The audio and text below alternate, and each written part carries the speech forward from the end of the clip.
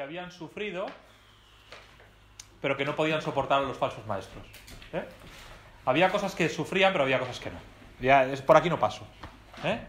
Eh, hoy, hoy casi lo hacemos al revés. ¿eh? Aplaudimos a los falsos maestros, pero somos incapaces de sufrir otra cosa. ¿eh? No, sufrimos nada, pero a los falsos maestros los aplaudimos. En cambio, Éfeso lo hacía exactamente al revés. Éfeso sí lo hacía bien. Has sufrido, has tenido paciencia, has trabajado realmente por nombre de un hombre y no has desmayado. Así pues, otra cosa que le destacaba era el sufrimiento. Me pregunto, ¿quién de nosotros estaría dispuesto a destacar en el sufrimiento? ¿Eh? No, no veo otra vez, no escucho muchos amenes, ¿verdad?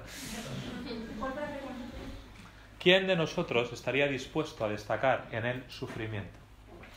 Éfeso destacaba en el sufrimiento.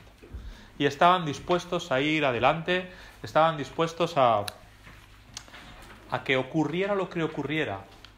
Ellos eh, estaban dispuestos a ir a la muerte por el Señor Jesús. No sé, ¿Cómo, ¿Cómo, encajaríamos eso nosotros hoy en día? ¿Cómo encajaríamos nosotros eso hoy eh, en los cultos de oración en nuestra iglesia, dedicamos un domingo al mes, o un jueves, eh, no, miércoles, un miércoles al mes para orar por la iglesia perseguida. Y siempre tenemos a una página web de un ministerio que se llama Puertas Abiertas, eh, que ayudan a la iglesia perseguida de diferentes formas. Y escuchas los testimonios de los hermanos. Ya empiezas a leer algún testimonio y pone, los nombres no son reales. ¿Verdad? Salud. Y pone, los nombres no son reales eh, por seguridad. Y lee sus testimonios y cómo lo han perdido todo por el Señor hoy en día, eh, hoy, hoy en día. ¿Vale? Y tú dices, ¿sería yo capaz de hacer lo mismo y de sufrir así por el Señor? La iglesia de Éfeso destaca en el sufrimiento. Otra cosa que destaca aquí en la iglesia es algo que me resulta muy, uh, muy reconfortante. Dice, has sufrido y has tenido paciencia. ¿Eh? Y dice, ¿y has trabajado arduamente? Dice, por amor de mi nombre. Hace un momento hemos hablado del trabajo duro, ¿verdad? Y hemos hablado de la paciencia, pero vigila que la motivación sea la correcta. Y que nosotros trabajemos y hagamos todo lo que hagamos por amor del nombre y no por otra cosa. Que realmente si haces lo que haces, si vas a la iglesia, si lees tu Biblia, si oras por la mañana, si das gracias por los alimentos, si testificas a tu vecino, si cantas en el coro o si haces cualquier otra cosa que sea por amor a Cristo. Ni siquiera porque te gusta. Está bien, ¿no? Supongo que si tú vas al coro, pues será porque te gusta, porque te lo pasas bien y no porque... Eh, ¿no? Porque a veces aguantar, ahora que no está lo digo, ¿no? Aguantar al pesado director, pues es un poco más difícil, ¿no? Ah, es broma. Pero pero obviamente si vas al coro o haces cualquier otra cosa, mucho hay de que te gusta, ¿no? Y hago esto porque me gusta. Sirves al Señor con los niños en la iglesia, bueno, seguramente es porque te gusta. Eh, eh, eh, no sé, predicas, presides en los cultos, o sea, tú no vas a sufrir. Y voy a coger un ministerio para sufrir. No, ¿verdad? Normalmente haces algo porque te gusta. Bueno, no está mal, pero la motivación es por Cristo. Porque entonces, cuando te pidan que te encargues de los niños en la guardería, lo seguirás haciendo. Y cuando te, digan que te toca limpiar la iglesia esa semana, también lo harás. Porque no lo haces por si te gusta o no, sino que tu, tu motivación es por Cristo. ¿Sí? Entonces vigila tus motivaciones. Que no sea, ni mucho menos, porque me vean. Que no sea mmm, para que los demás sepan lo que yo sé hacer. Y además esto es algo que llevamos muy dentro de cada uno de nosotros. ¿eh? Esto de que me vean y de que los demás me den una aprobación, esto es algo que llevamos desde que somos, pero unos enanos. ¿Quién ha... ¿Tú no has traído un dibujo de alguno de tus hijos hoy? Que yo lo he visto por ahí. ¿No? Y el niño trae el dibujo de quién lo ha hecho Marcos. ¿Lo ha hecho Marcos? Lucía. Lucía trae el dibujo y dice, mamá, mira lo que he hecho, mira lo que he hecho, mira qué bonito. ¿No? Desde que somos unos retacos así de pequeños, tenemos la necesidad de que alguien nos diga, eres el mejor tío. O sea, es que, ¿sí o no? Y en cierta forma es lo que en este caso Lucía o cualquiera de nosotros hemos hecho. Mira mamá, mira mamá. Aquel niño que está hablando con su madre. Mira mamá, mira mamá, mira mamá, mira. Porque todo lo que quiere, ¿sí o no? Todo lo que quiere es Reconocimiento. que papá, que mamá le diga, qué bueno eres, hijo, lo haces todo muy bien. Esto es algo que llevamos clavado en el corazón desde que nacemos. Vigila tus motivaciones. ¿No? O sea, ¿por qué estoy yo aquí hoy predicando?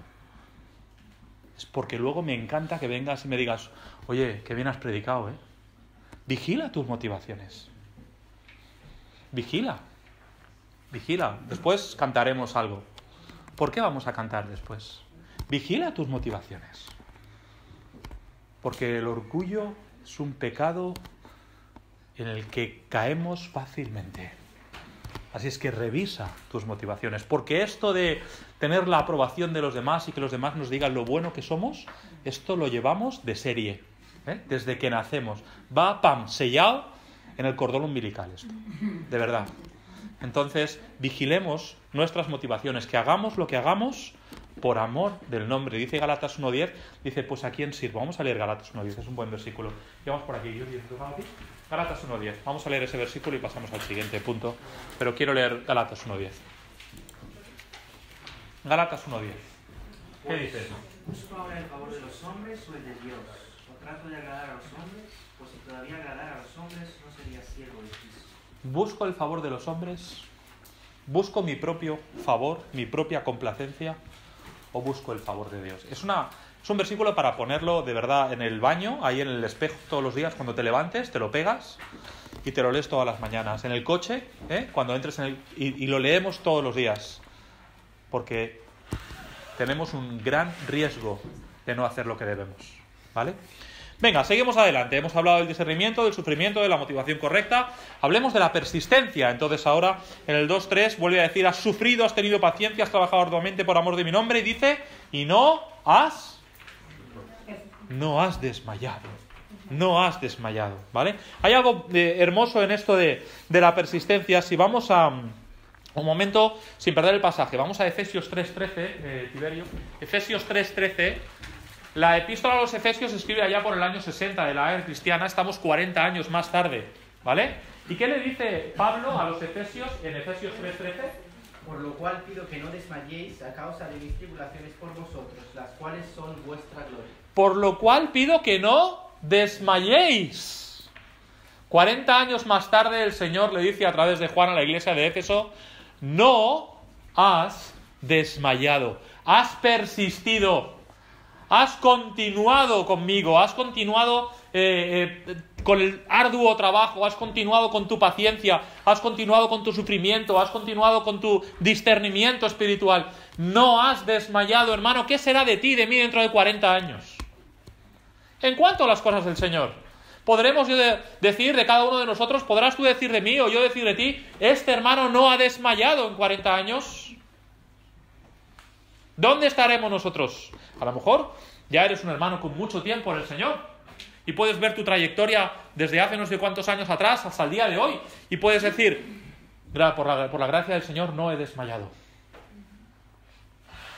O a lo mejor dices, no, yo antes testificaba, pero ahora ya no lo hago. Yo antes servía al Señor, pero ahora ya no.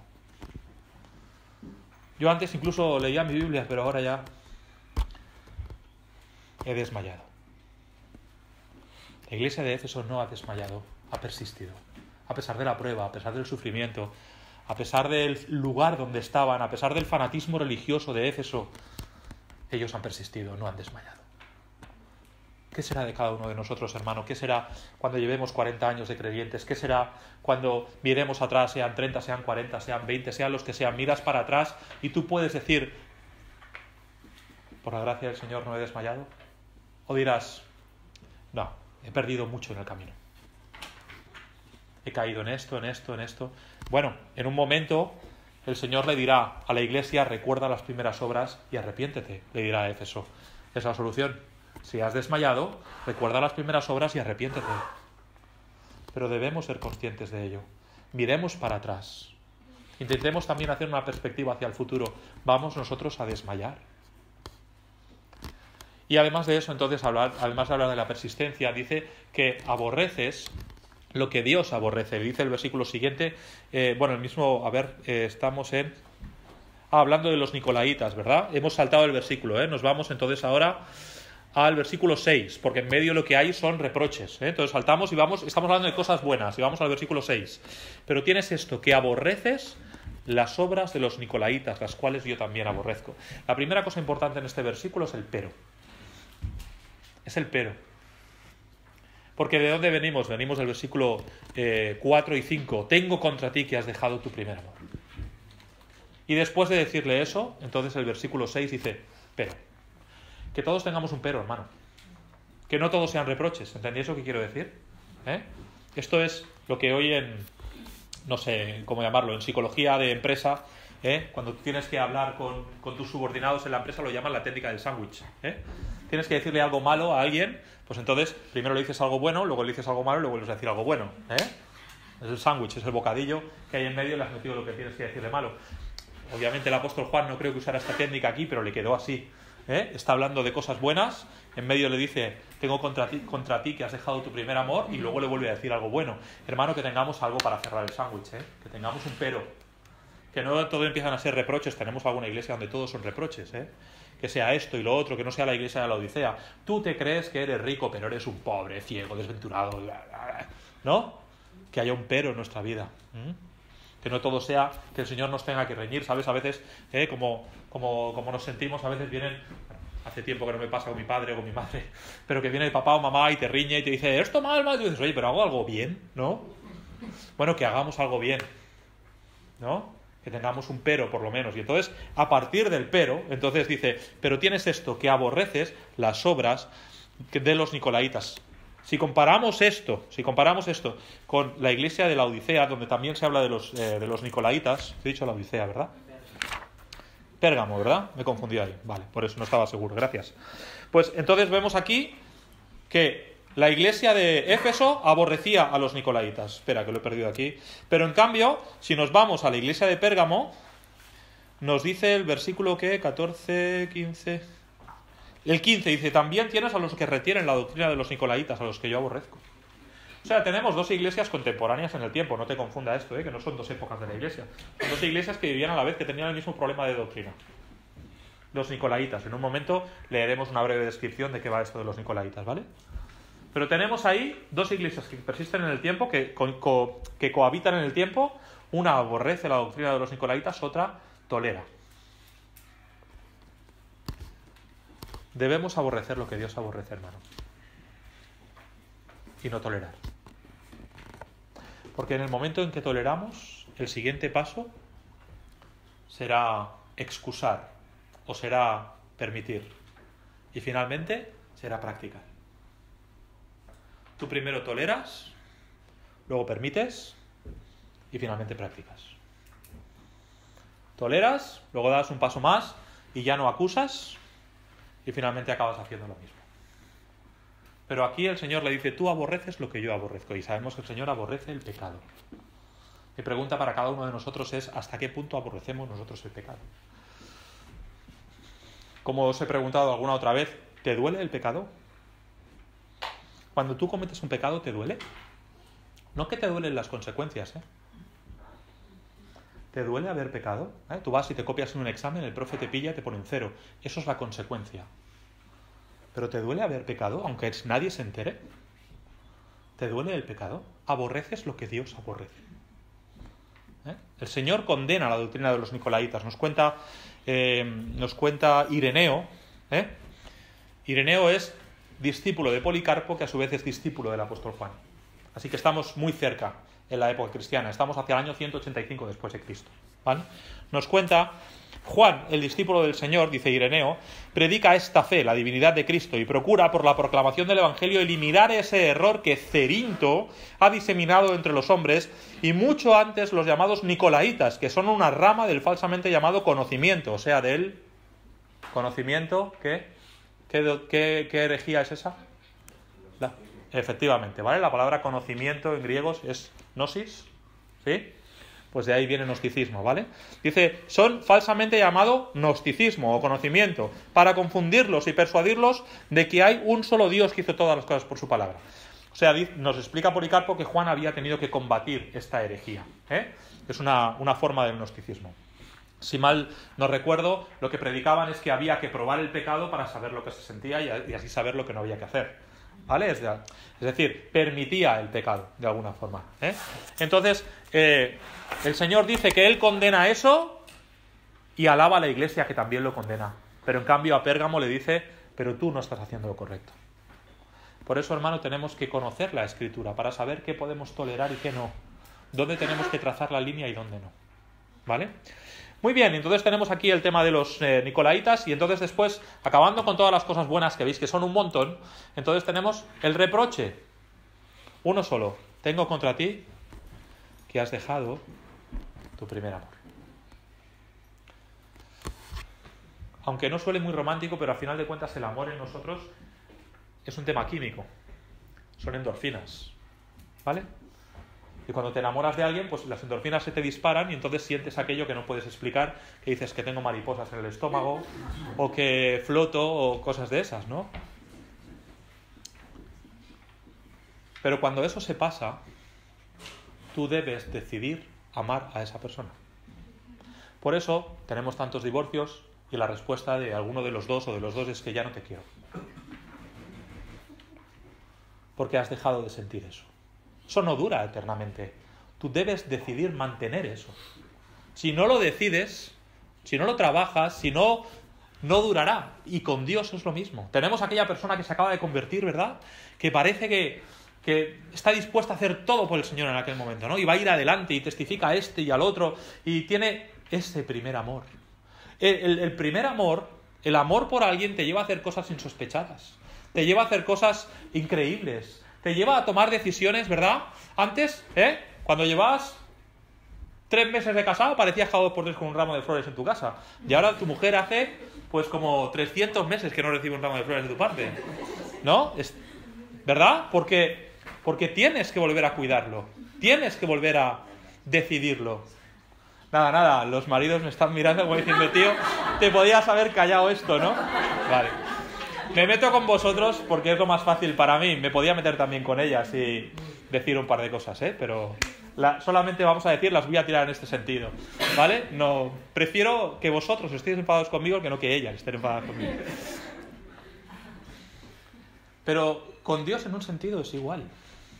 Ese primer amor te llevaba, ¿no? A querer hacer cosas por el Señor y tú dices, ¿he perdido yo esto? ¿Soy igual que entonces? Quiero seguir dando mi vida por el Señor, ¿no? Me, iré de misionero a la luna, Señor, por ti. O sea, quiero, ¿tengo yo todavía ese sentimiento por el Señor? O también lo he perdido por el camino. Sigo haciendo las cosas, pero a lo mejor ya no los hago porque amo al Señor, sino simplemente por pura inercia. Porque el coche está en marcha y yo voy. El tren está en marcha y yo estoy subido. Entonces, pues va, el camino va. Y como el tema va, pues yo sigo yendo a la iglesia, leo mi Biblia y hago, hago lo que tengo que hacer, pero como el que va al trabajo. ¿Eh? Tú te levantas por la mañana, no te cuestionas si, si vas hoy al trabajo o no. ¿O voy a ir hoy? Uh, ni yo que soy funcionario me lo cuestiono. Voy, suena el despertador, lo apago, me voy al trabajo, no me cuestiono si voy o no voy, yo voy. Igual que cada uno de vosotros, ¿verdad? Pero lo haces por inercia. ¿Verdad? Ya el coche va solo, el, tren va solo. Claro, si ya sabes dónde tienes que ir, sabes dónde tienes que poner tal, ya es una inercia. Llegas al trabajo, sabes lo que tienes que hacer, lo que tienes que poner en marcha, y tal, y ya va, ¿verdad? Como una rutina. Hermano, que no sirvamos así al Señor. Rebusca en tu corazón si es pura rutina o si todavía hay en ti ese primer amor, ese deseo de agradar, ese deseo de contentar, de hacer por aquella persona a quien amas lo insospechado, lo increíble, lo que te pida, lo que necesite. Aquí estoy, Señor, para lo que tú quieras, porque te amo. ¿Cuándo es la última vez que orando has dicho, Señor, te amo? Te amo. ¿Verdad? Es importante cuestionarnos si de verdad pues somos como esos matrimonios que tienen no sé cuántos años de casados y te dicen, no, pero ya no es como antes. Y dices, qué triste. Yo quiero que siempre sea así que siempre sea como antes. No, pero ya verás que todo cambia y pues sí, es tu compañero, es tu compañera, estás con ella y te hace... Pero es que ya es diferente. No tiene por qué. No tiene por qué. Puede ser como antes toda la vida. Puede ser siempre como el primer día. Pero para eso nosotros somos los primeros que tenemos que trabajarlo. Para eso nosotros somos los primeros que tenemos que rebuscar en nuestro corazón y decir, ¿por qué sigo al Señor? ¿Es por pura inercia o es por amor? Y entonces, si encontramos que hemos perdido ese primer amor, entonces tenemos que hacer caso a lo que dice el versículo 5, ¿verdad? donde está la amonestación y dice, recuerda por tanto de dónde has caído y arrepiéntete y haz las primeras obras. Recuerda, recuerda, recuerda. Recuerda esos momentos en que te levantabas por la mañana y decías, Señor, buenos días. Las primeras palabras que tenían, venían a tu mente. Señor, gracias por el descanso de la noche. Y que te levantabas y casi la primera cosa que hacías en la mañana era ir, coger tu Biblia, pasar un tiempo con el Señor. Recuerda, dice, recuerda las primeras obras. Recuerda que te levantabas y aún ibas al armario, cogías la ropa y decías, Señor, ¿está bien que me ponga esta ropa hoy? Que subías al coche y decías, ¿cómo puedo aprovechar mi tiempo en el coche que voy a ir al trabajo para que esto me... Mm, para servir al Señor o para, que, para crecer espiritualmente? Vas en el coche y aún conduciendo quieres crecer espiritualmente. Vas en el tren, vas camino de la universidad o vas camino de donde sea y aún en tu ocupación diaria quieres hacer algo. ¿Qué puedo hacer yo? Recuerda, Recuerda cuando en vez de poner simplemente la música que ponen en la radio, ibas y ponías una predicación porque querías crecer espiritualmente. Recuerda las primeras obras. Recuerda cuando decías, ¿cómo puedo hoy combinarme el día para salir un rato y repartir unos folletos o dar testimonio a esta persona? Recuerda las primeras obras. Porque seguro que eso ha estado en tu corazón en algún momento. Seguro que en algún momento de tu vida has tomado ese tipo de decisiones. Y el Espíritu Santo te dice, recuerda, Recuerda lo que era. Y no solamente recuerda, recuerda por tanto de dónde has caído, dice, y arrepiéntete. Arrepiéntete. Arrepentirse es dar la vuelta. 180 grados completos. Es, vas en una dirección y arrepentirse es 180 grados en el otro sentido, completamente. No es girar un poco. No es dejar algunas cosas. Es completamente en el otro sentido. La palabra para arrepentimiento en griego tiene que ver con, una, con un cambio absoluto y total, ¿vale? Eh, metanos o alguna cosa así, es lo que quiere, es la palabra arrepentirse. Y de ahí viene nuestra palabra, por ejemplo, metamorfosis, cuando aquel gusano se convierte en una mariposa, que cambia su naturaleza completamente. Es un cambio total. Lo que antes era una cosa, ahora es otra. Y eso es el arrepentimiento. Cambiar totalmente de dirección. Dice, arrepiéntete, tengo contra ti que has dejado tu primer amor, recuerda y haz las primeras obras, aquello que hacías antes, es lo que toca hacer ahora. ¿Mm? Y finalmente entonces tenemos aquí la advertencia, cuidado, ¿verdad? Porque dice, si no lo haces, dice, haz las primeras obras, pues si no, vendré pronto a ti y quitaré tu candelero de su lugar, si no te hubieres arrepentido. Fíjate, en un sentido, qué poco pesan las buenas cosas al lado del pecado. Fíjate cómo el pecado opaca todo lo anterior. Hemos tenido una lista de cosas buenas de la iglesia de Éfeso más larga que ninguna de las otras iglesias que veremos. Pero le dice, ojo, que si no te arrepientes, vendré y quitaré de ti el candelero. Quitaré de ti mi presencia. Quitaré de ti mi luz. ¿Quiere decir eso que la gente se va a ir de la iglesia? No. Pero que la iglesia va a perder todo poder espiritual que el Señor no va a estar ahí, que será como la iglesia de la Odisea, que tienen al Señor en la puerta tocando, llamando, hola, ¿se puede entrar? Porque habéis empezado el culto, pero es que yo me habéis dejado fuera. Sí, sí, pero así es. Quitaré de ti mi candelero, dice. Y al final la iglesia puede estar ayudando en temas, yo qué sé, puede ser que dé comida a los necesitados, que reparta ropa y que sea una iglesia totalmente social y que cumpla una labor social, pero ha quitado el poder espiritual el Señor de esa iglesia. Una iglesia que donde no hay nuevos convertidos, una iglesia que no crece, una iglesia que escuchas una predicación y te vas exactamente igual a casa que cuando habías entrado. Quitaré mi candelero de ti. Entonces, hermanos, si esa es mi situación, acuérdate que no hablamos, no predicamos todo esto para que lo compares con tu iglesia, sino para que lo compares contigo. Si esa es tu situación, hermano, aplícate lo que dice aquí la iglesia de Efeso, aplícatelo. Miremos en lo profundo de nuestro corazón, ¿vale? Quitaré el candelero y por último tenemos una hermosa promesa, ¿vale? Que nos dice el versículo 7. El que tiene oído oiga lo que el Espíritu dice a las iglesias, al que venciere, le daré eh, a comer del árbol de la vida, el cual está en medio del paraíso de Dios.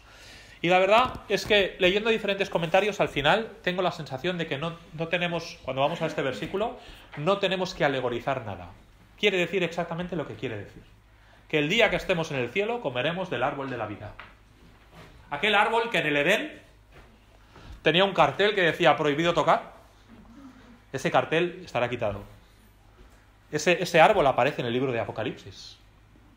Y podremos comer de ese árbol, podremos disfrutar de la presencia del Señor y de todas las bendiciones que Él tiene para nosotros en el cielo. Así pues, al que venciere, ¿verdad? Y hablaremos de esa expresión porque también se repite a lo largo de casi todas las cartas. Al que venciere, el Señor le dará poder comer del árbol de la vida, poder estar en su presencia para siempre. Es la mejor de las recompensas. Éfeso, una iglesia ejemplar. Pero cuidado, dice que habían perdido su primer amor. Que no nos pase eso a nosotros, hermanos, revisémoslo. Porque fíjate cómo pesa en la balanza de Dios el hecho de perder el primer amor con todas las buenas obras que ellos hacían. Pesa mucho más para Dios el reproche, has perdido tu primer amor. No dice el Señor, no tiene mucha importancia, bueno, no hay para tanto. Al contrario, dice, arrepiéntete porque si no vendré pronto a ti y quitaré mi candelero de ti. Cerramos la iglesia de Éfeso y empezamos con la iglesia de Esmirna. Rápidamente hablamos de la ciudad de Esmirna y tenemos una foto de la ciudad. Eh, el pasaje lo leemos en un momento, hablamos de la ciudad. Eh, lo que significa la palabra Esmirna es mirra o sufrimiento, de ahí eh, veremos que la iglesia la comparamos a la iglesia sufriente de las persecuciones, ¿vale? La mirra la usamos para ungir a los muertos y por eso es que llegamos a esa conclusión. La corona de Asia era una ciudad muy bella, se llamaba a sí misma la corona de Asia. Eh, tenemos también que estaba en una situación estratégica, una ruta directa con India, Persia y Roma. Y creo que tengo ahí un mapa eh, aquí, ¿vale? Aquí está Esmirna, ¿vale? ¿Veis dónde está? Y era un puerto fantástico, porque para entrar dentro, eh, pues fíjate, era, era como una ciudad que era muy, muy muy difícil de, si estaba bien protegida, muy difícil de tomar desde el mar, ¿eh? prácticamente imposible, fíjate, entrar aquí, qué dificultoso debía ser, ¿vale?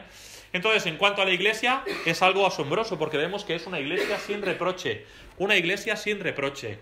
Policarpo, obispo de Esmirna, eh, Policarpo, otra vez os he dicho antes, había sido discípulo directo del apóstol Juan y de él tenemos testimonio. Año 169 lo martirizaron por ser obispo de la ciudad de, de Esmirna, de la iglesia de allí. Y él dijo, He servido a mi Señor Jesucristo durante 86 años y nunca me han causado daño alguno el mismo. ¿Cómo puedo negar a mi rey? Obviamente le pidieron que negara al Señor Jesús, lo que tenían que hacer, eh, la, esto en general, ¿vale? Para todas las eh, iglesias y para todo el periodo en el cual estamos viendo, a quien había que adorar por lo menos una vez al año y de una forma oficial era el César, ¿no? Entonces tú tenías que ir allí, presentar tu incienso y decir, César es el Señor. Y Policarpo dice, yo no haré eso. Y entonces, cuando le piden que lo haga, dice, ¿cómo puedo negar a mi rey? ¿Vale? Y obviamente sufrió el martirio y murió por ello. La iglesia en la historia es la iglesia perseguida. Acuérdate, vamos del año 100 al año 313. Ahí se levantaron unas 10 ah, persecuciones principales. Tenéis un cuadro aquí que no vamos a, a tomar tiempo para leer, ¿eh? Pero tenéis un cuadro ahí de las 10 persecuciones principales a cargo de los judíos y del imperio romano que sufrió la iglesia durante esos años. Eh, y tienes ahí, bueno, yo creo que es un cuadro bastante, con bastante detalle, ¿verdad? A ver, déjame encontrar, que nos habla del emperador que había, de los años, de los mártires que murieron ahí y de algunos hechos destacados, eso ya está ahí muy pequeño, pero se puede leer. No vamos a tomar eh, tiempo para verlo ahí ahora, pero fíjate que a la iglesia de Esmirna se le dice que sufrirá persecución por 10 días. Hablando esto del periodo de la historia, fíjate que son 10 persecuciones principales que se podrían equiparar a esos 10 días de persecución. Otra vez, estamos hablando de una aplicación y de cómo esto encajaría en la historia de la Iglesia, ¿vale? Entonces, como digo, en primer lugar tenemos que ver una interpretación literal. O sea, cuando dice que va a sufrir persecución por 10 días, esos son 10 días para la iglesia de Esmirna. ¿eh? Diez días. Esto es la interpretación literal del pasaje. Pero luego podemos tener una representación de las diez persecuciones romanas que tenemos aquí en el cuadro en esos diez días. Pero no dejaría más que ser una aplicación, una representación. La interpretación literal es que hubieron diez días especialmente de persecución dura en la iglesia de Esmirna. ¿Vale? Y entonces tenéis aquí el mismo cuadro que tenéis ahí en vuestras notas. Y además de eso, pues entonces ya entraríamos directamente a lo que sería el contenido del mensaje a la iglesia de Esmirna. Así que vamos a leer el pasaje en Apocalipsis 2.8. Dice, escribe el ángel de la iglesia en Esmirna, el primero y el postrero, el que estuvo muerto y vivió, dice esto. Yo conozco tus obras y tu tribulación y tu pobreza, pero tú eres rico, y la blasfemia de los que dicen ser judíos y no lo son, sino sinagoga de Satanás. No temas en nada lo que vas a padecer. He aquí el diablo echará a algunos de vosotros en la cárcel para que seáis probados y tendréis tribulación por diez días. Sé fiel hasta la muerte y yo te daré la corona de la vida. El que tiene oído oiga lo que el Espíritu dice a las iglesias, el que venciere no sufrirá daño de la segunda muerte. Entonces, lo primero que tenemos que observar que es, es cómo eh, se presenta el Señor, cómo se presenta el emisor del mensaje. ¿Vale? Y lo que nos dice aquí es que escribe el ángel de la iglesia en Esmirna el primero y el postrero, el que estuvo muerto y vivió. Dice esto. Habla de la resurrección. Habla de que el Señor es el que tiene el control sobre la vida y la muerte. Claro, tú imagínate una iglesia que está pasando persecución que de repente el Señor se presente a ellos como el que tiene el control sobre la vida y la muerte, pues tiene que ser para ellos una paz y una seguridad, una tranquilidad. El Señor es el que tiene control de todo esto. Y al final incluso de la epístola dice que no sufrirá daño de la muerte segunda, ¿vale? Entonces, el Señor se presenta como el que tiene, otra vez, ha tomado una característica del capítulo 1 y la está aplicando ahora a una iglesia en concreto, ¿vale? Entonces, imagínate cómo debía, cómo debía eh, ¿Cómo debían sentirse los cristianos de Esmirna cuando reciben este mensaje? Cuando el Señor les dice, el primero y el postrero, el que estuvo muerto y vivió, dice esto. Eso tiene que darles a ellos paz total. ¿eh? Es lo que hablábamos antes en cuanto a esto. ¿Qué más tenemos entonces en cuanto a la iglesia de Esmirna? En la, la, eh, la, segunda cosa, bueno, o la primera... Cuando hablamos de la resurrección, hay dos puntos que he puesto ahí, los voy a comentar, eh, porque si no, no va, no va a encajar esto. Cuando yo leo la historia, más allá incluso de la historia bíblica, cuando yo leo acerca de los apóstoles y veo como ellos, por asegurar que Cristo resucitó, murieron, no solamente ellos, sino que todos los creyentes iban directamente al martirio sosteniendo que Cristo murió, para mí es una garantía absoluta de que Cristo resucitó. Cuando todos ellos mantienen Cristo resucitó. Y les dicen, como sigas diciendo esto, vas de cabeza a los leones. Cristo resucitó. Y van de cabeza a los leones. ¿Quién va a mantener una mentira hasta la muerte? O sea, si los apóstoles hubieran robado, como decía Pilato, hubieran robado el cuerpo del Señor Jesús, se lo hubieran llevado y para simular su, su resurrección, hubiera llegado un momento en que alguno de tantos, de todos ellos, hubiera dicho, un momento, un momento, no resucitó, fue una mentira, no quiero morir. Pero no ocurre. Tenemos testimonio en la escritura, ¿verdad? Dice eh, el apóstol Pablo que apareció a los apóstoles, que le apareció a él mismo, que apareció a más de 500 personas, ¿os recuerdas el pasaje ahí? Pero además de eso, tenemos el testimonio en la historia, tenemos el testimonio en los creyentes de los primeros siglos que dicen, Cristo resucitó. Por lo tanto, hermano, lo primero que tenemos es una seguridad de la resurrección, de que efectivamente el Señor Jesús resucitó. Y la segunda cosa, cuando nos habla de esto, es que si Cristo venció la muerte, debían pensar los cristianos de Esmirna, ¿Cómo no se va a preocupar Él? ¿Cómo no va a tener el poder Él de ocuparse de mis cosas?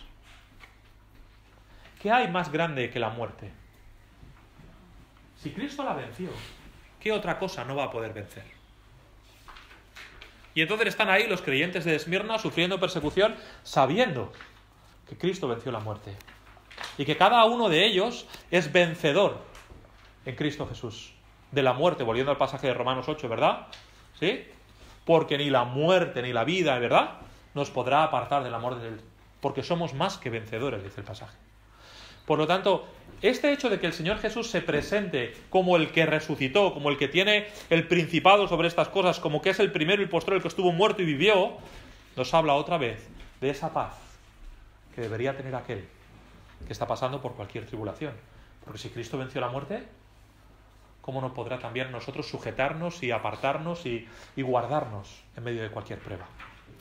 Sí, pues, en primer lugar tenemos al emisor del mensaje y hablemos entonces de los aspectos positivos. Acuérdate, no hay aspectos negativos. La primera cosa, el Señor le dice a la iglesia, dice, yo conozco tu tribulación. Otra vez, yo conozco tus obras y tu tribulación, dice el versículo 9. Qué paz, hermano. Que el Señor sepa por lo que cada uno de nosotros estamos pasando. El Salmo 38, 9 dice, Señor, delante de ti están todos mis deseos y mi suspiro no te es oculto. Delante de ti están todos mis deseos y mi suspiro no te es oculto. El Señor sabe. Una vez más, ya lo hemos hablado de esto, pero qué paz, qué tranquilidad, qué, qué, qué, sosiego debe darnos el hecho de que Cristo sabe. sabe, Señor sabe por lo que tú puedes estar pasando. Así pues, yo conozco tu tribulación, pero también le dice, yo conozco tu pobreza. Le dice el mismo versículo 9, dice, y tu pobreza, pero tú eres rico. Tres cosas en cuanto a este tema de la pobreza. Lo primero, fíjate qué diferente es en cuanto a la iglesia de la Odisea. Ah, no tengo nada. Fíjate qué diferente es en cuanto a la iglesia de la Odisea. A la iglesia de la Odisea se le dice ahí al, eh, en el versículo 17 dice, ¿por qué tú dices, yo soy rico y me he enriquecido de ninguna cosa? 3.17. Y de ninguna cosa tengo necesidad. Y no sabes que eres un desventurado, miserable, pobre, ciego y desnudo. Y esta iglesia, que en lo material seguramente sí que eran pobres, el Señor le dice, tú eres rico.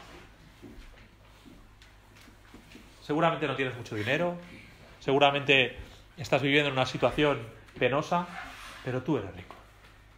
Porque la riqueza que el Señor valora obviamente no es la riqueza que nosotros valoramos, ¿verdad? Cuando Él mira en qué somos ricos o en qué no, a Él la riqueza de la Odisea le asquea, le da lo mismo. Te vomitaré de mi boca, dice el Señor. La riqueza que Él valora es la riqueza de Esmirna, una riqueza en el espíritu, una riqueza en tu relación con el Señor. Eso es lo que Él valora. No le impresiona al Señor ninguno de nuestros logros humanos. Le impresiona nuestra riqueza en Cristo, nuestra fidelidad, nuestro servicio, nuestro amor. En eso debemos ser ricos, en eso debemos abundar. Es de eso que nos tiene que sobrar. Pero no le impresiona al Señor otra cosa. Además, eh, además de eso, es probable que cuando habla de esta pobreza se esté refiriendo el apóstol Juan eh, a aquello del 10%, es decir, si tú denunciabas a tu vecino que era un cristiano y que no adoraba al César, le quitaban sus posesiones y te daban a ti el 10%. Imperio romano, ¿eh? durante la Inquisición te daban un tercio. ¿Eh? Aquí la Inquisición hasta hace, relativamente hablando del cómputo total de la historia, hasta hace cuatro días. La, Inquisición se abolió definitivamente a mediados del siglo XIX. ¿eh? Mediados del XIX. Eso fue antes de ayer. ¿eh? Piénsalo, fue hace muy poco, donde todavía se mataba gente aquí por ser protestante. Fue hace muy poco. Se abolió la Inquisición, lo cual no quiere decir que, que después de todo eso los protestantes no tuvieran fácil. ¿eh? Se abolió la Inquisición a mediados del 19. Ellos, si tú denunciabas a tu vecino, también tenías derecho a reclamar sus pertenencias y te daban una parte lo mismo que ocurría aquí. Que a lo mejor está haciendo referencia cuando dice eres pobre a que parte de, de, esta pobreza había venido por causa de la persecución. ¿Vale? Por causa del nombre de Cristo. Y finalmente una tercera y última cosa a comentar en cuanto a esto de la pobreza. Tiene que ver con que, como he dicho antes, bueno, lo que he comentado antes, que la pobreza material, bueno, no lo he dicho antes, que la pobreza material hace, hace que busquemos al Señor. Y tú dices, pero yo no tengo muchas ganas de ser pobre. Entiendo, entiendo lo que dices y, y yo pienso igual que tú. Pero cuando estamos envueltos en otras cosas, o sea, aquella persona que no tiene nada, aquella persona busca al Señor. Ahora lo he expresado tal vez un poco mejor. Aquella persona que no tiene nada, aquella persona es la que busca al Señor. Aquella persona es la que no tiene tiempo para enredarse en otras cosas. La persona que está en medio de necesidad es la primera que depende completamente delante del Señor. Cuando, como la Odisea, tú te crees que lo tienes todo, entonces tu dependencia del Señor ya no es la misma. Porque no te hace falta. ¿eh? Es aquello de. Eh, ¿Cómo es? Santa, nos acordamos de Santa Bárbara cuando truena. ¿No? Es decir, nos acordamos del Señor cuando me hace falta. Claro, entonces si tú estás en una situación penosa, como la de la gente de Esmirna, te acuerdas del Señor. Y a veces el Señor permite que pasemos por algunas circunstancias, sean pobrezas o sean pruebas o sea lo que sea, precisamente para que te acuerdes de Él. Porque si estuvieras en una situación acomodada como los hermanos de la Odisea, seguramente entonces no te acordarías de Él para nada. Y ese es el motivo por el cual en muchas ocasiones necesitamos pasar por la prueba. Necesitamos pasar por este tipo de pobreza. Porque si no, no nos acordaríamos del Señor. Hablamos de la pobreza de Esmirna. Yo conozco tu pobreza. En primer lugar, yo conozco tu tribulación, yo conozco tu pobreza. Yo conozco a los que te dañan, dice ahí. Bueno, me he saltado y voy uno por delante, pero. Yo conozco a los que te dañan. Al Señor no se le escapa nada. ¿eh? Y otra cosa, toda, toda cosa será traída a juicio al final. Toda situación será traída a juicio. Aquello que tú dices, esto es una injusticia, ¿cómo puede ser que me hayan hecho esto? No te preocupes, el Señor al final lo traerá todo a juicio. A Él no se le escapa nada. No hay nada que, que, Él no sepa, que Él no conozca. El Señor conoce a los que te dañan, conoce cuál es tu situación. Parece que no ocurre nada, parece que nadie te reivindica, el Señor sabe. Aquella persona que te ha dañado, que a lo mejor estás pensando está en alguien, ¿eh? cuando lo estoy diciendo, pues el Señor lo sabe. El Señor lo sabe. Así que tranquilo. Tranquilo, el Señor al final lo traerá todo a juicio. Todo. Y finalmente, yo conozco a los hipócritas, dice el versículo 9, los que se dicen ser judíos y no lo son, sino sinagoga de Satanás. Fíjate qué duro les trata, ¿eh? Son los judíos. Y les dice que son sinagoga de Satanás. Probablemente, sin duda, estos judíos tenían algo que ver con la persecución de la gente aquí en Esmirna, de los cristianos de Esmirna. Acuérdate que las primeras persecuciones para los cristianos no vinieron de los romanos, vinieron de los judíos. Ahí está Pablo eh, o, o Saulo de Tarso persiguiendo a los cristianos, ¿te acuerdas? Las primeras persecuciones vienen de los judíos, no de los romanos. Y dice que estos son sinagoga de Satanás. Qué duro es el Señor con aquellos que son hipócritas. Con aquellos que diciendo ser una cosa, nosotros, dirían ellos, seguimos la ley de Moisés, al final lo que están haciendo es persiguiendo al pueblo de Dios. Qué duro es el Señor con aquellos que son hipócritas. Hermano, que no caigamos en esto. Que no digamos ser una cosa y al final seamos otra. Que no eh, digamos nosotros, eh, soy cristiano, pero nos comportemos como el mundo. Que no seamos hipócritas, hermano. Eh, si yo te enseño una moneda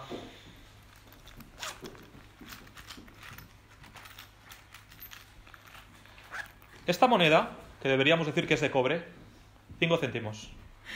¿De qué está hecha realmente? De una aleación. De una aleación de acero, principalmente. Y está recubierta, recubierta solamente de cobre por fuera. Pero esta moneda no es de cobre, es de acero. No es de cobre. Porque ¿qué pasaría si la moneda fuera de cobre? Que valdría más de 5 céntimos. Y eso sería un desastre para el tesoro, para el gobierno, ¿verdad? Para... No, no podrías hacer monedas de 5 céntimos que la moneda costase más de 5 céntimos. Sería un gasto, ¿no? La moneda tiene que valer menos de 5 céntimos para tener, o por lo menos 5 céntimos justos, para tener un valor de 5 céntimos. Porque si no, se gastaría más dinero en hacer el dinero que el dinero que realmente han emitido. ¿Me estoy explicando? ¿No tienes un billete de 500 euros en la mano? Que te prometo que no sé ni de qué color son. ¿Son lilas? Eh, lilas, vale. Tienes un billete de 500 euros en la mano. ¿Ese billete vale 500 euros intrínsecamente? ¿El valor de ese papel son 500 euros? No. El valor de esta moneda no son 5 céntimos. Aunque aquí diga 5 céntimos. ¿Entendéis lo que quiero decir? Es decir, esto es una moneda hipócrita. Dice que vale 5 céntimos, pero no los vale. El billete que tú tienes en tu mano es un billete hipócrita. Dice que vale 20 euros o 50 euros o 500 o 200 o los que sean, pero no los vale. Tú eres cristiano. Dices que eres cristiano. ¿Tienes el valor real de un cristiano? ¿O eres como la moneda que os acabo de enseñar? En la antigüedad no ocurría esto. Cuando ellos decían que te daban un denario de oro, aquello pesaba un denario de oro. ¿Sí? Me lo invento. Vamos a decir que un denario son eh, 50 gramos. ¿Sí? Pues si te daban una moneda de un denario de oro, pesaba 50 gramos de oro. O así debía ser. Luego estaban las pesas falsas y toda aquella historia. Pero así debía ser. El valor de la moneda era exactamente el valor de la moneda. Era lo que valía la moneda. Si te daban un peso de oro, era un peso de oro. No era otra cosa. Era exactamente lo que valía. ¿Sí? ¿Qué tipo de, de cristianos somos nosotros? De los que decimos valer una cosa, pero luego en el fondo valemos otra. El Señor odia a los hipócritas. El Señor, fíjate, dice, ¿cómo les llama? Les llama sinagoga de Satanás. Porque dicen ser una cosa, pero en el fondo son otra. Yo conozco a los hipócritas. Y entonces saltamos y vamos al ánimo para la iglesia, ¿vale? Y entonces le dice aquí, en el versículo 10, eh, dice, no temas en nada lo que vas a padecer. He aquí, el diablo echará a algunos de vosotros en la cárcel para que seáis probados y tendréis tribulación por diez días, se fiel hasta la muerte, y yo te daré la corona de la vida. La primera cosa que tenemos que observar aquí, hermano, es que, que el sufrimiento no sea por tu culpa. Ellos van a padecer, pero no por su culpa. Ellos van a padecer y dice que les van a echar a la cárcel y van a diez días de tribulación, pero no es porque ellos han hecho algo malo. Ellos han seguido al Señor Jesús y por seguir al Señor Jesús, entonces, al final, les va a acontecer algo malo. Pero por lo menos, si te acontece algo malo, hermano, que no sea porque tú te has metido solo en el problema. ¿Entendéis lo que quiero decir? Y que os repito otra vez el tema de las pistolas y todo eso que os digo siempre, te metes en un banco con dos pistolas, tal. Cuando tú estás sufriendo algo, hermano, que sea de verdad una prueba, que no sea por tu mala cabeza. Que el sufrimiento no sea por tu culpa. Y el sufrimiento viene, ¿verdad? También os he dicho esto muchas veces, pero si yo conduzco siempre conforme al código de circulación, no me salto, o sea, como Mari Carmen, no me salto un stop, hago todos los CEDAS, bueno, como Mari Carmen antes, hago todos los CEDAS, eh, no paso del límite de velocidad, eh, mantengo la distancia de seguridad con el coche de delante, hago todo lo que tengo que hacer, pongo siempre los intermitentes. Dime, ¿puedo tener un accidente? Pero será bastante más difícil que tenga un accidente, ¿verdad? Porque si en vez de eso yo conduzco como Pablo y voy a 200 kilómetros por hora con el camión, derrapando ahí, ¿no? ¿Vale? Como si llevara una moto, tal.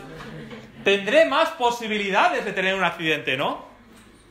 Entonces, cuando yo conduzco conforme al código, es mucho más difícil que yo tenga un accidente. ¿Estás de acuerdo conmigo? Cuando no conduzco conforme al código, entonces será mucho más fácil que tenga un accidente. Los accidentes vienen a nuestra vida, hermano. Vienen.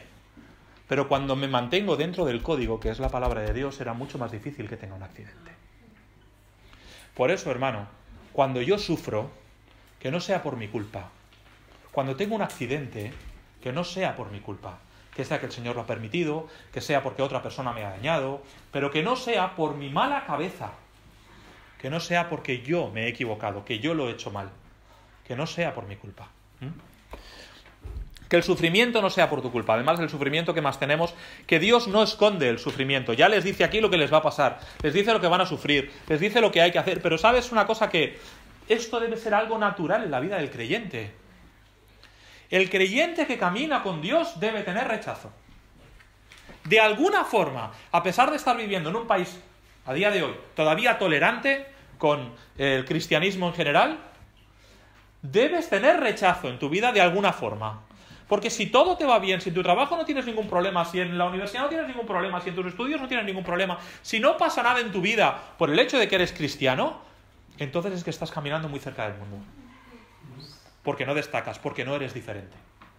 Porque el cristiano es una persona llamada a ser diferente. Si, si, tú no tienes... Si nadie se burla de ti, si nadie se ríe de ti, si no tienes algún tipo de... Es que estamos caminando demasiado cerca del mundo o que estamos haciendo cero esfuerzo por dar a conocer al Señor.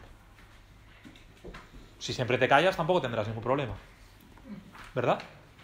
Pero el Señor no esconde el sufrimiento. El sufrimiento debe ser algo más o menos que camine con el cristiano. El ejemplo que tenemos es el libro de los Hechos y las epístolas que vienen después. A todos les vemos sufrir por causa del Señor Jesús. Y gracias a Dios que estamos viviendo en un país donde todavía podemos reunirnos libremente. Pero a pesar de todo, cuando tú haces tus actividades diarias, cuando estás con los vecinos en tu comunidad, algo de sufrimiento deberíamos tener. Porque si no, es que estamos caminando exactamente igual que ellos. Hay un versículo, creo que es en Primera de Pedro, que dice que ellos, dice que se sorprenden al no, al ver que corremos con ellos en el mismo, en la misma, ¿cómo? En el mismo desenfreno, creo que dice la misma carrera de disolución alguna cosa así. Deberían sorprenderse, hermano, debemos, debemos ser distintos. Y eso debe ofenderles. No porque tú quieras ofender a nadie, pero tu condición de comportarte dentro de lo que es ser cristiano debería ofender a los demás. ¿Mm? Ese sufrimiento debe estar ligado al cristiano de alguna forma. Además de eso, hermano, que el sufrimiento sea un privilegio y tú sabes, cuando alguna vez has tenido que sufrir mínimamente por Cristo, sabes que después te has ido a casa y has dicho, Señor, pues estoy contento de haberlo hecho. Estoy contento de haber sufrido esto por ti. Porque tú sabes que en el fondo, cuando alguna vez eso te ha ocurrido, pues a lo mejor al principio no te ha gustado mucho, pero luego vas a casa, oras, y dices al Señor, Señor, gracias por haberme permitido esto. Gracias. El sufrimiento debería ser un privilegio para el creyente. En el siglo I había creyentes que se declaraban directamente de las autoridades, yo soy cristiano, llévame al circo, llévame a la cárcel, quiero pasar el sufrimiento. Porque entendían el sufrimiento como un privilegio para el creyente. Y por último, en cuanto al sufrimiento, bueno, dos cosas más en cuanto al sufrimiento, que el sufrimiento tenga un propósito, dice, para que seáis probados. ¿eh? O sea, el Señor al final da la corona de la vida, dice. ¿eh? Nos dice ahí en el versículo 10, eh, sé fiel hasta la muerte y yo te daré la corona de la vida. Que haya un propósito, que no es por nada. Decíamos antes, leyendo Romanos 5.3, que acerca de la prueba, la prueba produce en nosotros paciencia. Debe haber un propósito en el sufrimiento. ¿Sí? Y alguna cosa más tenía entonces en cuanto al sufrimiento. Sí, bueno, que el Señor no dice nada por lo cual Él no haya pasado primero, ¿verdad? Cuando Él te habla de sufrimiento, Él ha pasado primero por eso. Él es el primero que ha pasado antes por el sufrimiento. Y por lo tanto puede hablarte libremente de lo que eso es, de a qué se está refiriendo. Cuando tú necesitas consuelo de alguien, la mejor persona que puede consolarte es aquella que conoce por lo que estás sufriendo. Y lo conoce porque primero lo ha sufrido. ¿Verdad? Aquella persona que puede darte un consejo en cuanto a cómo afronto yo esta situación es aquella persona que se ha visto antes en la misma situación. Cuando el Señor nos habla de sufrimiento es porque Él ha sido el primero en sufrir por ti. Y entonces tenemos la exhortación. En cuanto a la iglesia, le exhorta a ser fiel, ¿eh? a ser fiel, otra vez en el mismo versículo 10, sé fiel hasta la muerte y yo te daré la corona de la vida. Sé fiel hasta la muerte y yo te daré la corona de la vida. Estoy ahí. Ah, ahí está. Fidelidad.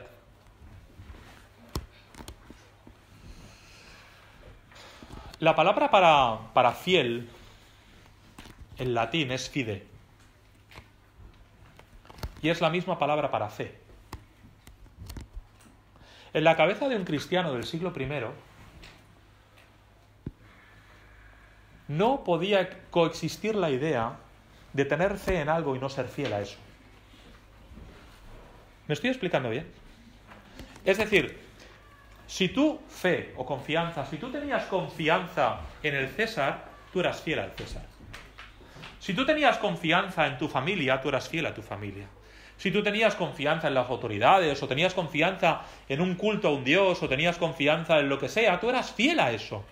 No podía existir en la cabeza de una persona del siglo I el hecho de que tú tuvieras fe en algo y no fueras fiel a la cosa en la cual decías que tenías fe. Eso es cosa nuestra. Somos nosotros los que decimos, sí, yo creo en Dios, pero no soy practicante. Y nosotros, como no somos católicos, que son los que dicen esto, ¿no? O sea, tú puedes imaginar a, a un budista diciendo yo creo en Buda pero no practico, esto solamente pasa con el catolicismo. yo no imagino a un maometano diciendo yo creo en Mahoma pero no practico, yo no me lo imagino. A lo mejor existen, pero, pero difícilmente. Si existen, te digo una cosa, seguro que están aquí. Vete a Irak a buscar uno que diga yo creo y no practico. A ver cuántos encuentras, ¿eh? O sea, seguro que a lo mejor aquí, ahora estoy pensando en alguna mamá del cole que, son marroquíes o donde sea, y que a lo mejor han abandonado un poco el tema de, ¿no? De, seguir a Mahoma y todo eso, eh, pero es que están aquí. ¿eh? Es porque están aquí. Aquí es donde decimos, yo creo pero no practico. Entonces, que no nos pase eso a nosotros como creyentes en Cristo, hermano. Que seamos fieles. No podemos nosotros decir, creo en el Señor, pero no soy fiel.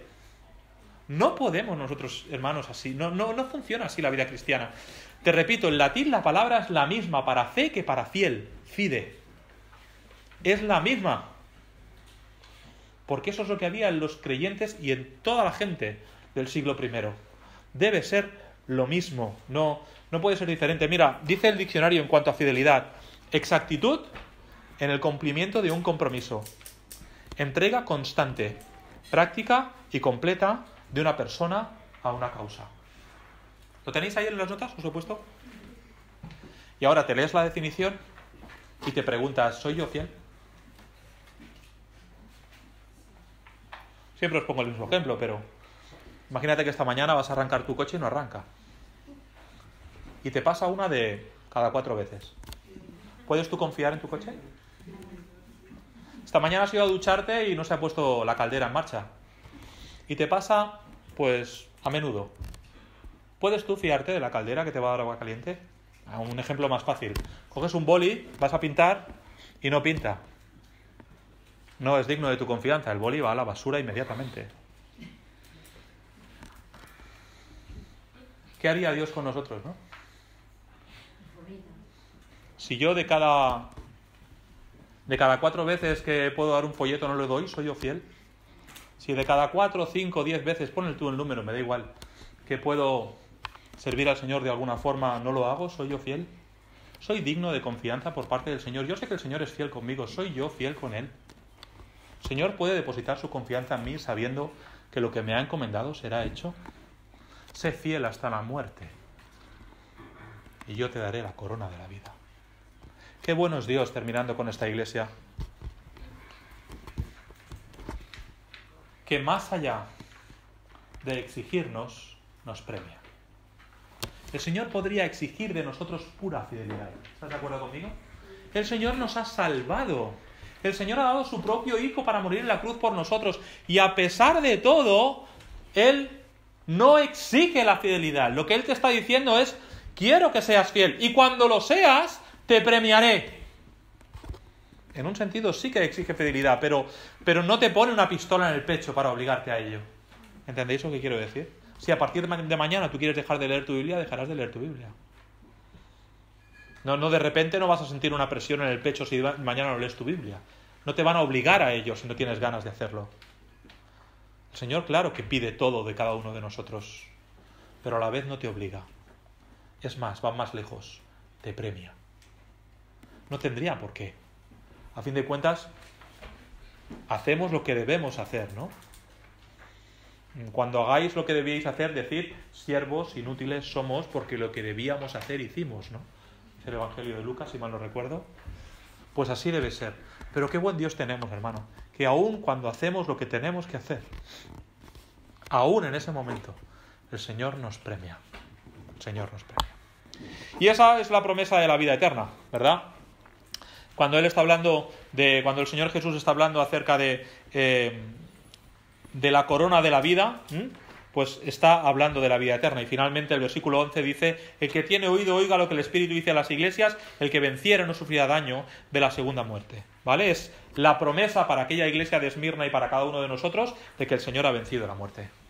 Ya no somos nosotros, el Señor ha vencido la muerte y nosotros somos en Cristo que somos más que vencedores, ¿vale? Por lo tanto, otra vez, hemos empezado hablando de paz, de sosiego, de tranquilidad en Cristo, de, de reposo y terminamos hablando de esta iglesia igual.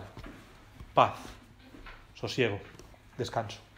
Eso es lo que tenemos eh, en Cristo, aún en medio de la prueba y de la tribulación. ¿Vale? ¿Tengo un poco más? ¿Sí? Pues entonces vamos a por la siguiente iglesia. Vamos a empezar y por lo menos lo que es la introducción histórica y todo eso creo que lo podremos cubrir. Iglesia de Pérgamo. Iglesia de Pérgamo. Hablemos en cuanto a la ciudad. Lo que quiere decir, el significado de, la palabra quiere decir alta fortaleza, aunque también otros lo traducen como matrimonio mixto. Eh, la verdad es que la palabra gamos quiere decir matrimonio, ¿vale? Y de ahí vendrían palabras que nosotros tenemos como poligamia o bigamia, ¿vale? Y entonces matrimonio mixto, acuérdate, estamos hablando de la iglesia que en el periodo de la historia la situamos como la iglesia que ha mezclado el cristianismo con la política, con, la, con, la, con, el gobierno, ¿vale? Que, que, es algo que ya no es, no es limpio, ¿eh? Matrimonio mixto. Y ahí tenemos una imagen, esta sí es tuya. Vale, yo tengo más fotos de, de Andrés que Andrés, ¿vale? Esto es el autobús, ¿ves aquí el reflejo del autobús? ¿Vale? Esto es la, antigua ciudad de Pérgamo. Acuérdate que te he dicho que también querría significar alta fortaleza. Y fíjate cómo es la ciudad arriba, en medio del valle, de repente se levanta este montículo aquí, mira dónde está la Acrópolis, todo esto de aquí es la antigua ciudad griega, ¿vale? Fíjate, entonces eso hacía de la ciudad de Pérgamo que fuera una ciudad inexpugnable. Montaban una muralla aquí y por aquí era imposible que la ciudad la pudieran conquistarla, porque esto es directamente un acantilado, ¿vale? Entonces la tesorería del imperio, dice Andrés, estaba ahí mismo, ¿vale? Entonces era una ciudad inexpugnable, pero por su descuido había sido conquistada tres veces, ¿eh? Porque ellos no habían vigilado, y ahora leeremos el pasaje, ¿sí? Y veréis por qué el Señor dice lo que dice. Esto de aquí, eh, bueno, lejos de los caminos principales, rival de importancia con Éfeso y Esmirna, a pesar de todo, pero yo tenía una imagen, bueno, Esmirna, Pérgamo, ahí es como se repartían, estamos en Pérgamo, tenía más templos que ninguna de las otras.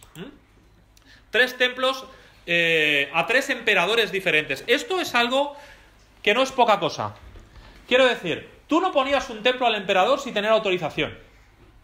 ¿Mm? De hecho, era como hacer un, como hacer un concurso. Eh, entiéndeme lo que digo por la palabra concurso. Si tú quieres ir a una administración pública, tú vas al... ¿A dónde vas? Al Ministerio de Justicia, ¿vale? Y quieres poner un bar. En el Ministerio de Justicia, ¿vale? Allí dentro para que los trabajadores vayan allí y se tomen el café a la hora del desayuno, que el desayuno dura 30 minutos nada más, ¿vale? Y es una vez al día para los funcionarios públicos, ¿vale? Entonces, tú quieres ir allí y entonces tú allí dices, aquí no pone el bar el primero que llega, aquí se abre un concurso. Entonces, todas las empresas de restauración que quieren presentan sus bases y dicen nosotros vamos a cobrar tanto, esto es lo que nosotros queremos, esto es lo que nosotros ofrecemos y entonces la administración pública, en función de unos criterios y en función de lo que presenta cada empresa, decide qué empresa va a abrir allí dentro un bar.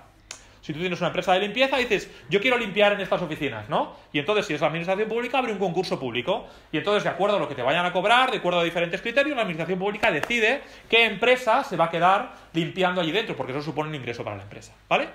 Pues en un sentido era algo parecido cuando tú querías poner un templo en tu ciudad al emperador. No cualquiera lo hacía, tenía que pedir permiso y entonces las diferentes ciudades competían. Y esta ciudad también quería poner un templo al emperador, y esta también, y esta también, esta también. Y al final el emperador, en los motivos que fueran, decidía en qué ciudad se iba a poner el templo. ¿Sí? A su persona, donde sean más devotos de mí, donde más me quieran, allí vamos a poner el templo. Bien, pues Pérgamo había ganado este concurso tres veces con tres emperadores diferentes. ¿Entendéis ahora la importancia del hecho de que tuvieran tres templos diferentes a tres emperadores diferentes? Era una ciudad altamente religiosa. Altamente religiosa que mm, daba un, devoto, una idolatría devota a todos los emperadores. ¿Vale? Hay un altar a Zeus, que de ahí viene el pasaje probablemente del trono de Satanás, como digo, ahora lo, leeremos. Un altar, no digo un templo, un altar. Y ahí tenéis la foto. Esto me parece que es un museo que está en Berlín, de donde trasladaron eh, eh, ¿Lo habéis visto eso vosotros? De donde trasladaron pieza a pieza, ¿vale? El altar que había allí en Pérgamo. Y fíjate, para que te hagas una idea, ¿eh? son 20 metros por 10 aproximadamente, ¿vale? Ves que no es un sitio pequeño. Y a esto es lo que el pasaje que vamos a leer a continuación, la Biblia lo llama el altar, el trono de Satanás. ¿eh? Ese altar que había allí a Zeus, ¿vale? Era la capital del reino de Seleucida y de ahí viene el título de máximo pontífice. Es decir, esto viene del imperio Seleucida que viene de los griegos. ¿sí? Alejandro Magno muere, reparte su imperio entre sus cuatro generales, lo estoy diciendo de forma muy rápida porque muere sin descendencia, ¿vale? Y una de las cuatro partes del imperio son los Seleucidas, que vienen de Seleuco, que era uno de los cuatro generales de Alejandro Magno, ¿de acuerdo? Entonces, lo que era el imperio Seleucida, la capital estaba colocada en Pérgamo. Y de la religión que ellos profesaban, que probablemente tendrían también directamente el tema de la religión griega, con todos los griegos y todo eso, porque no dejaban de ser griegos en el fondo, tenían un título que se lo daban al sacerdote, al máximo y tal, que era el máximo pontífice, el que, el, que, el máximo hacedor de puentes, el que sabía hacer puentes mejor que nadie, comparando esto con los puentes entre la humanidad y la deidad, ¿vale? Entonces el máximo pontífice era el jefe de la religión que seguían en Pérgamo. Y entonces este título, ¿vale? Este título es el que después se ha traspasado al Papa de Roma. Para que veáis de dónde viene esto directamente. Estamos hablando de la iglesia de Pérgamo, que representa ese matrimonio entre lo que es idolatría y lo que es religión. ¿Vale? Aquí se inventó el pergamino, de ahí viene el nombre, ¿vale? Pergamino, antes usaban papiros de los egipcios, pero parece que tuvieron ahí una controversia, una pelea o alguna cosa así, y entonces los de Pérgamo se cansaron y dijeron, pues ya nos compramos más papiros, a partir de ahora vamos a, fabricar nuestro propio pergamino. Si no me equivoco, el pergamino es de piel, el papiro es de una sustancia diferente, es de, es de, es de papel, es de árbol, ¿vale? Entonces ahí tenían una biblioteca con más de 200.000 rollos, rival de Alejandría. Bien, no, no es que eh, fuera igual que la de Alejandría, la de Alejandría era la, biblioteca más grande que había en esa época, pero tenían también un centro cultural, ¿vale? Tenían una biblioteca con más de 200.000 volúmenes diferentes, ¿eh? Tenían una famosa escuela de medicina, ¿sí? Tenían un dios que se llamaba Eusculapio, ahí está, y su símbolo era ese. ¿Has ido a la farmacia últimamente? Fíjate el símbolo. Hasta ahí nos llega. O sea, de ahí toman los... de, ahí toman los farmacéuticos el símbolo para hacer el tema de... Para, representar el tema de la farmacia del dios esculapio de los griegos. ¿eh? Eh, como todo, eh, la, medicina en esta época está mezcla de, de superstición, mezcla de magia con medicina natural real, ¿vale? Una mezcla de las dos cosas, ¿sí? Y esto es lo que ocurría también con el dios Esculapio, que por cierto era llamado el dios salvador. ¿Mm?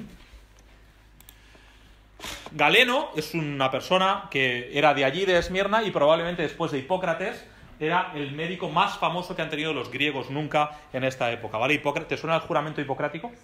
¿Vale? Pues Galeno, que por cierto es un sinónimo de médico en nuestro vocabulario, si no lo sabes, te vas al diccionario, buscas eh, sinónimos de doctor, médico, y uno de los sinónimos es Galeno, ¿vale? Pues era un griego que era de aquí de Esmirna y era uno de los médicos famosos de su época, ¿vale? De Pérgamo. De, ah, gracias, de Pérgamo, sí he dicho Esmirna. Y entonces, en cuanto a la aplicación histórica, pues como digo, ahí en el 313 tenemos el edicto de Milán, lo hemos mencionado antes, hasta el 590, donde teníamos a este papa que se llamaba eh, Gregorio el Magno, ¿vale? Y es el, tiempo de la tolerancia religiosa, Constantino cristianiza el imperio, todo esto lo hemos mencionado antes. Y ser cristiano pasa de ser una sentencia de muerte a ser lo que está de moda, es la unión de la Iglesia y el Estado. Esto lo hemos mencionado antes ya, ¿vale? Entonces las discusiones doctrinales se convierten en un tema de Estado. O sea, ¿por qué? Porque ahora tenéis que poneros en la mentalidad de aquel momento. O sea, hoy en día, en un sentido, la religión no es tema de Estado. A ellos, al Estado le da lo mismo lo que tú creas, en un sentido. ¿Vale? Pero en aquel momento sí estaba íntimamente ligado una cosa a la otra. ¿Vale? Fusión del paganismo y el cristianismo, os lo acabo de mostrar con el tema de pontífice máximo, o maximus pontificus, este, como se diga. Y entonces, durante toda esta época, es decir, durante estos dos siglos y medio, en la iglesia aparecen todas estas herejías persignarse, oración por los muertos, velas, veneración de los ángeles, santos, imágenes, la misa, el purgatorio, la extrema unción, cultos a María. Todas estas cosas se incorporan a la doctrina de la Iglesia en esta época, en la época que va del 313 al 590. ¿Vale? Y muchas de estas cosas vienen directamente del paganismo. ¿eh? Muchas de estas cosas, o todas ellas, vienen del paganismo. Y entonces entraríamos a lo que sería el emisor del mensaje, pero a lo mejor podemos dejarlo aquí, ¿vale? Hemos hecho la introducción y entonces después cuando ya tenemos que entrar, digamos, en la parte que más nos importa, que es el tema espiritual, pues ya lo dejamos eso para, para después de comer, así no lo cortamos, ¿vale? Muy bien, muchas gracias ¿eh? por vuestra paciencia.